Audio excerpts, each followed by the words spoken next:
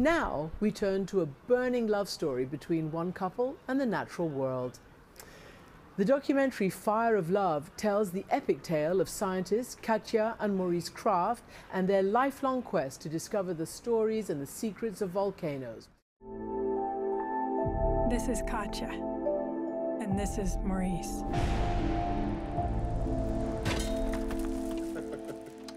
Tomorrow will be their last day.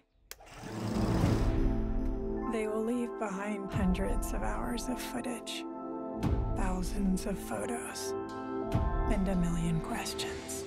Since its release, the film has received critical acclaim and an Oscar nomination. Director Sara Dosa joins Hari Srinivasan to discuss the incredible footage shot by the pair during their daring expeditions. Thanks, Sara Dosa. Thanks so much for joining us. Uh, first of all, when you look at the premise of this movie, it kind of first just blows your mind. What? There was a couple who studied volcanoes. H- how did you find this story? Um, first, just thank you so much for having me on today. It's great to be here. I, I first found the story actually serendipitously um, while doing research with my team on the last film I directed. That's a film called The Seer and the Unseen, and it follows the story of an Icelandic woman who's in communication with spirits of nature. And we wanted to open that film actually with archival imagery of erupting volcanoes in Iceland. And once we went about that research, we learned about Katia and Maurice Krafft because not that many people had filmed erupting volcanoes in Iceland before, uh, but they had. Once we learned about their love for each other and the planet, we were absolutely hooked.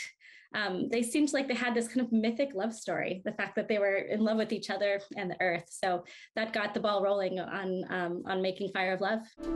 Alone, they could only dream of volcanoes. Together, they can reach them. They meet on a blind date at a cafe.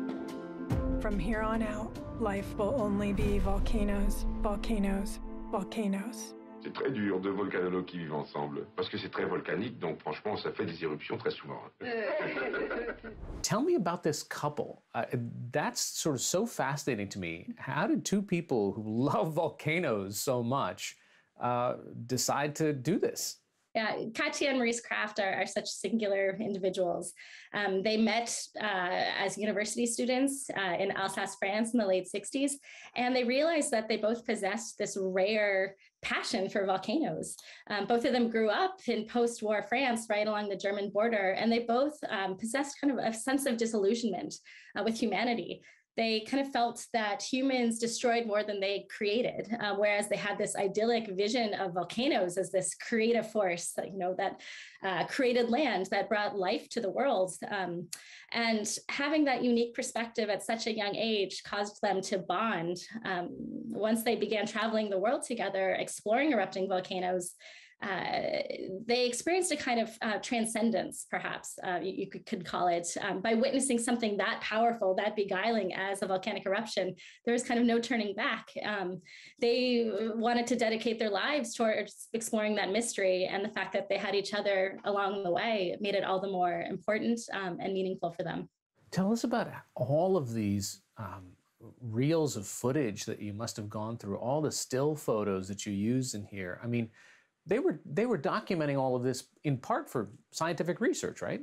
They were, yes. Katia and Maurice and um, their cohort, when they first started out working in, in volcanology, uh, were um, really devoted towards capturing uh, volcanic phenomena on, on camera because you know, no volcano erupts the same way twice. Uh, this is fleeting phenomena. And when you can set it uh, to the camera through still photography or cinematography, it becomes a kind of scientific data that allows study time and time again. So their work was extremely important. And it also enabled their, uh, their adventures um, to, to move forward because they were supported for this kind of uh, documentation uh, work as well. Um, uh, but that caused them to shoot just hundreds of hours of footage.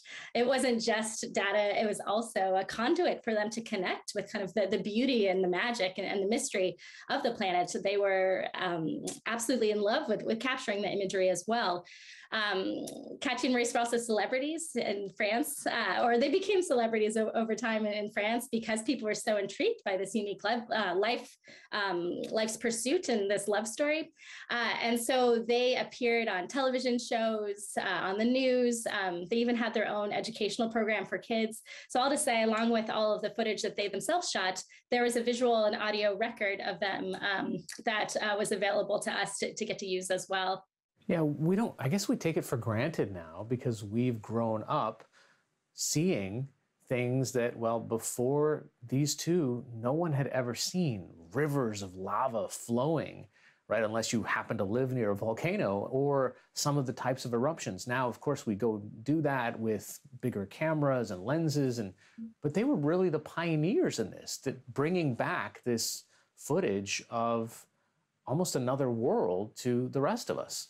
Yeah, that's a beautiful way of putting it. And of course, people have lived in relationship with volcanoes for, for thousands and thousands of years, depicting it through art and through stories.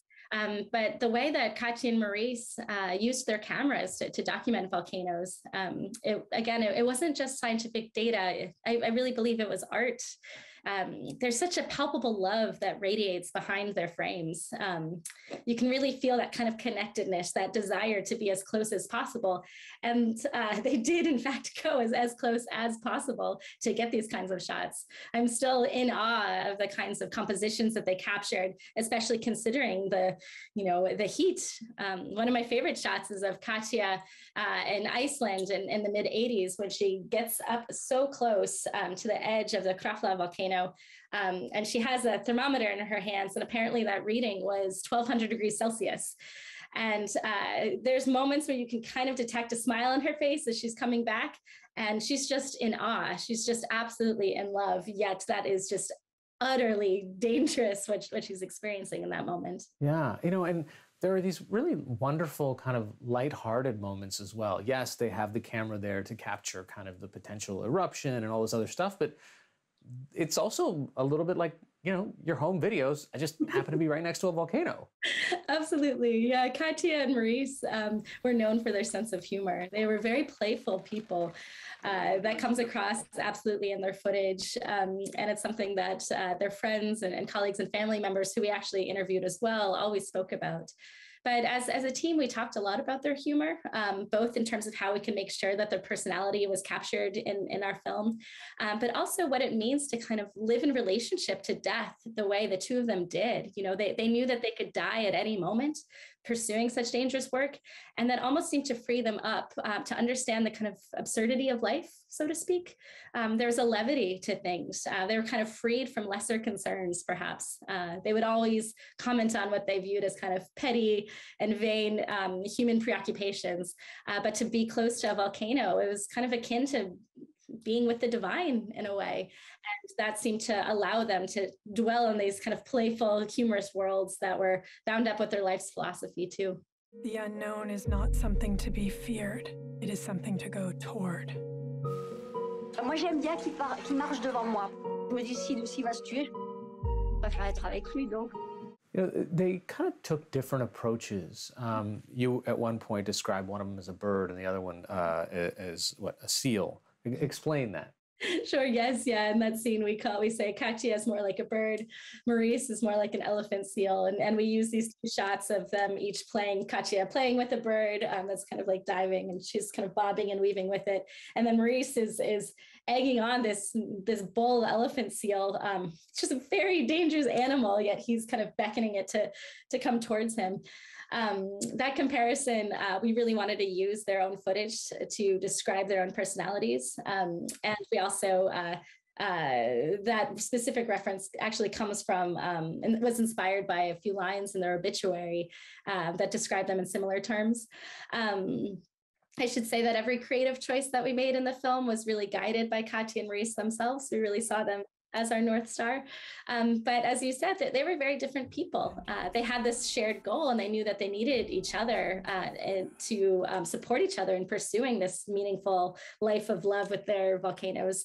Um, but they did have different approaches and that created conflict at times. Katia was uh, thought to be a bit more methodological. Um, uh, she by no means was cautious. She was extremely bold and courageous. Um, but Maurice was uh, a bit more impetuous. He's just so desired to be as close to volcanoes as possible that he would risk absolutely everything. Um, he was known to have uh, certain kind of antics or uh, to really um, be such a daredevil that uh, sometimes Katia believed that his daring ways would jeopardize the legitimacy of their scientific work. And so that caused the two of them to tussle. Um, however, they would always kind of reconcile knowing again that they, they had to if they were going to live this this life of purpose that they um, so um, you know uh, yeah devoted their, their lives to pursuing. They shifted at one point from studying the kind of red volcanoes the hot lava that we think about to the gray volcanoes which spew tons of ash and cause all kinds of other destruction. Uh, why did they do that and why was that significant uh, that's a great question. Um, they were so dedicated to exploring all kinds of volcanoes. And so, of course, we're very aware um, and intrigued by gray volcanoes, otherwise known as explosive volcanoes. Um, but they were particularly animated by the pursuit of the unknown. Um, they uh, had an opportunity in 1980 when Mount St. Helens erupted to delve deeply into, uh, into researching a gray volcano like Mount St. Helens. Um, of course, there's a, a tragedy. Um, nearly 60 people were killed. Uh, the entire area was destroyed. Yet it was a watershed moment in the field of volcanology to study um, this kind of once in a human lifetime type of eruption it absolutely ignited Katia and Maurice's curiosity. And they felt like there was an opportunity to delve into, um, you know, this type of volcano that wasn't as well understood because they're so rare, because they're so powerful, and because they're so dangerous. And for Katia, who is particularly driven by kind of um, this pursuit of scientific understanding, for her, she, she wanted to to uh, have this opportunity to to really learn. And Maurice too, he of course was. Um, uh, so in love with that idea as well, but the danger got him all the more excited. And so for them, um, uh, they decided to kind of compromise and and dedicate their lives uh, towards studying gray volcanoes. And I say compromise because at that moment in, in their relationship and in their lives, Maurice was very much wanting to um, uh, develop a kind of uh, vessel that would allow him to ride down a lava flow, a, a red lava flow. um, he was so excited about this and um, would often tease Katia with this. It's kind of like they wanted to, or he wanted to get so close that he literally wanted to be in the lava flow. But uh, through their conversations, um, based on our, our research, uh, they kind of compromised and instead said, okay, studying explosive volcanoes, that kind of will get uh, them as close to the danger as Maurice wants and provides this opportunity for understanding that Katia wants. Um, and so they really shifted their focus towards that kind of study and that carried them through the rest of their lives. How did the scientific community um, react to them? Yeah, um, so the scientific community definitely has diverse opinions about and Maurice. By and large, what we found with the science advisors that we were working with on our film, and since the film has been released, is that and Maurice were very much celebrated as pioneers. They were so dedicated uh, towards collecting this imagery and so driven by their love uh, that their work went on to inspire uh, generations of people to go into geosciences as well. And for Katia in particular, she battled such sexism doing the work that she did as one of the only women um, in uh, volcanology at that time. Um, and one of the most rewarding things that's happening for our team now is we get all kinds of letters from people saying, I knew about Katia when I was little and, and I learned about her and she was the reason why I'm a geoscientist now. Or some people today are saying, thank you for Katia. My, my little girl uh, saw her and dressed up for, uh, you know, as Katia for Halloween. And now, um, you know, it's engendering this, this love of science. So um, the way that she in particular was a role model um, uh, was extremely meaningful. Um, but of course, you know, they did defy uh, safety regulations to, to go about uh, the work that they did. And, um, and that created some controversy for people for sure. Um, but it, their kind of life's work really begs that question how far would you go for your work? Um, how far would you what would you sacrifice for your passion especially in the name of science? And that's something that a lot of scientists today very much wrestle with um, in order to do the kind of daring um, and world changing work that that they do. You know one thing i wonder is you know perhaps this is a testament to your filmmaking but by the time we get to the point in the film where we discuss the end of their lives, as a viewer, you're you're sad. You you felt connected to them over the period of the film, and I wonder, given all the research you did, what did you learn about what happened to them? Yeah. On their last trip, Katia and Maurice were very focused on capturing a, a, very particular shot of a pyroclastic flow, which is one of the most dangerous forces on the planet. They wanted to do so um, so that they could illustrate how pyroclastic flows moved um, so they could put it in a video about understanding volcanic hazards that they were using to teach governments and decision makers um, how, how to comprehend this very mysterious and very dangerous force. It was really their goal that, in Maurice's quixotic terms, that volcanoes no longer kill, which of course is not actually possible, but they witnessed such devastation, namely at the eruption of Nevado del Ruiz in, in Colombia in 1985, where over 22,000 people died because they were not evacuated in time. There weren't proper warning systems put in place. Um, that they really wanted to use their imagery to instead uh, teach people on how these dangerous forces worked to save lives. So that's really what they were doing that day in June in 1991 um, at the base of Mount Unzen. They were trying to capture a particular shot. Um, and it's tragic, yet there's something deeply kind of poignant and poetic about the fact that um, they were trying to save lives when they themselves lost their own life, lives. Um, they did so along with 41 other people, including their friend and fellow volcanologist Harry Glicken. Um, so it's quite tragic, and there's people that are mourning them today. Um, but their work really has gone on to to save lives and to teach people how to understand this uh, very mysterious force. So, on a brighter note, uh, what's it like to be an Oscar nominee? Oh, um, it's a profound honor, and I, am deeply humbled. Uh, I'm still surprised uh, by our Oscar nomination. Um, my team and I, we, we tend to make kind of idiosyncratic films about idiosyncratic people, and we never in a million years imagined that this would happen but it's one of those moments where I just kind of look back and feel just an overwhelming sense of gratitude for all my mentors, for my collaborators, for Katia and Maurice, for sharing their story with us, even, you know, from their volcano in the sky. Um, yeah, I think gratitude is really the, the thing that rushes forth most. Um, I also am humbled to be in the company of the, of the other films nominated. Uh, I absolutely love them all, and I've developed friendships with with the filmmakers along this journey, and and so it's very meaningful uh, to be in this all together.